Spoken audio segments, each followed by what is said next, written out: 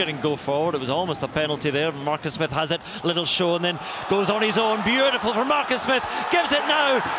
And the try is scored. What a try it is as well. And Cadan Murley gets in. Welcome back, Marcus Smith, from your injury. This is what he does well.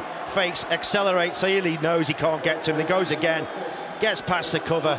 Gallant's got to step forward just in case, and then he bullets the pass out to Murley. There's that acceleration, gets him through the cover. You can't leave the outside channel. Fickou has gone way too early. He's left his inside centre with gasping at uh, air. There's a lovely show